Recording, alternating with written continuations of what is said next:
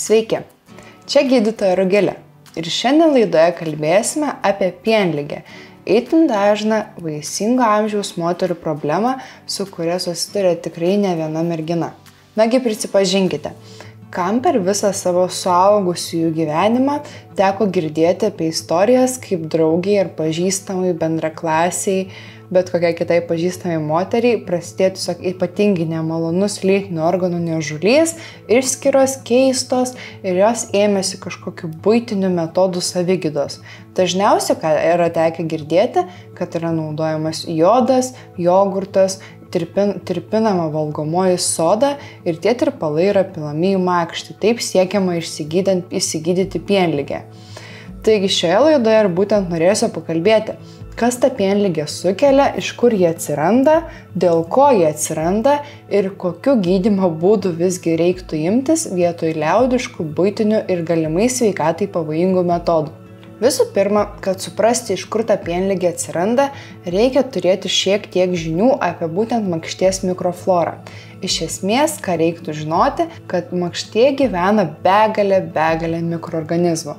Ir tarp jų yra tiek gerųjų, tiek blogųjų mikroorganizmų. Tačiau jeigu visas organizmas yra santarvėje, pati makšties mikroflora yra balansė ir ji neišsternusi, šie plika akimi nematomi gyventojai gyvena santarvėje, taikoje ir jokių nemalonių simptomų nekelia. Tačiau pasikeitus makšties mikrofloros balansui gali išvešėti kandida rušies grybeliai, dažniausiai kandida albicans, kurie būtent ir sukelia pienlygę. Taigi vėlgi, normaliomis sąlygomis jis gyvena makštie ir nesukelia jokių problemų. Tačiau pasikeitom sąlygoms jo išaugo daugiau negu turėtų būti ir tada prasideda itin nemalonus ir varginantis simptomai, apie kuriuos žinos kiekviena moteris patyrusi šią nemalonę ligą. Pagrindinis simptomas dažniausiai yra niežėjimas, perštėjimo, deginimo jausmas makšties, priengio bei vulvos srityje. Gali būti skausmingas šlapinimasis, dažniausiai ypatingai nemalonus ir skausmą keliantis lytiniai santykiai. Taip pat gali būti stebimas balkšvos, varškės konsistencijos makšties išskiros. Apžiūrėjus vulvą veidrodėliu arba, sakykime, nuėjus pas gydytoją, galėtume stebėti tai, kad vulvos ir makšties audiniai jie yra paburkę, pabrinkę ir paraudonavę. Tai kasgi tie rizikos faktoriai, kasgi yra tos priežastis, kurios gali lemti e, būtent tą visos mikrofloros išsiderinimą, disbalansą ir grybelių išvešėjimą. Pagrindinė priežastis yra antibiotikų vartojimas. Tikrai nenuostabu yra tai, kad nemaža dalis moterių kažkurio gyvenimo periodu susirga pakankamai stipria bakterinė infekcija, kad jos gydimui reiktų antibiotikų.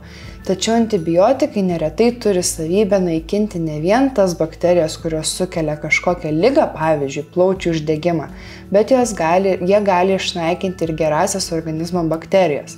Tų gerųjų bakterijų taip pat yra makštie ir jos uoliai kovoja su būtent grybeliu, tuo, kuris sukelia pienlygę.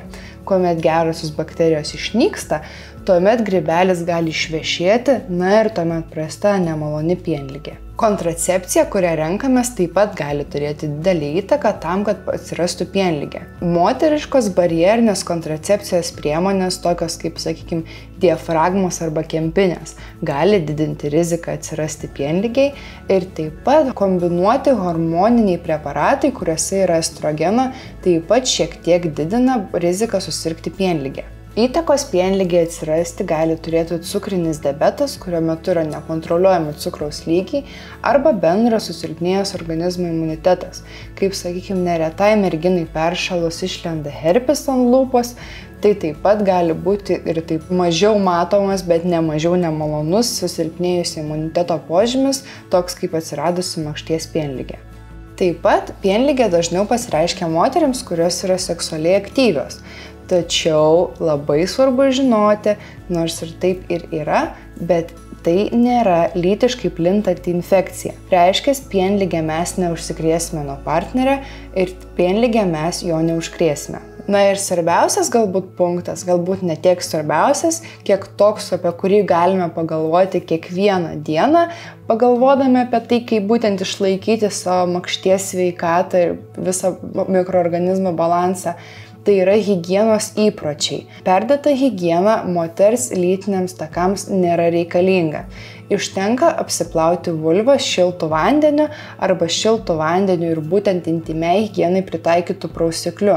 Ir jokių būdų, nesant kažkokių tai kitų gydytojų nurodymų, makšties nereiktų plauti ar skalauti kažkokiais tirpalais, būtent siekiant panaikinti kvapą makšties natūralų, siekiant kvepėti kaip gėlytės arba ten, sakykime, prieš pasimatymą bandyti išsiplauti save kuo labiau kaip įmanoma.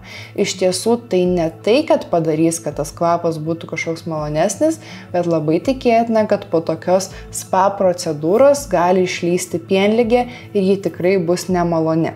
Kodėl taip yra?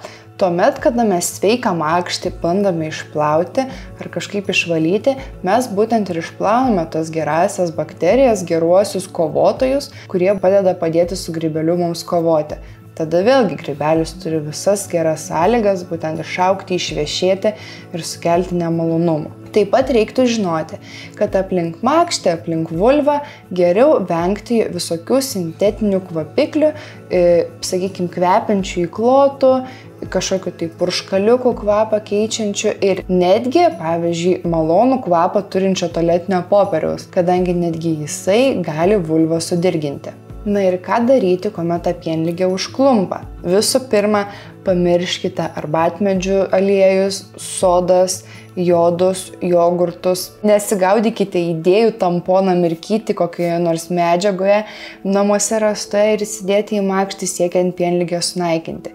Kadangi pienligė yra grybelinė infekcija, ją gydo prieš grybeliniai vaistai. Ir tie vaistai, jie gali būti dedami tiek į makštį, tiek, esant kai kuriems atvejams, gali būti vartojami sistemiškai.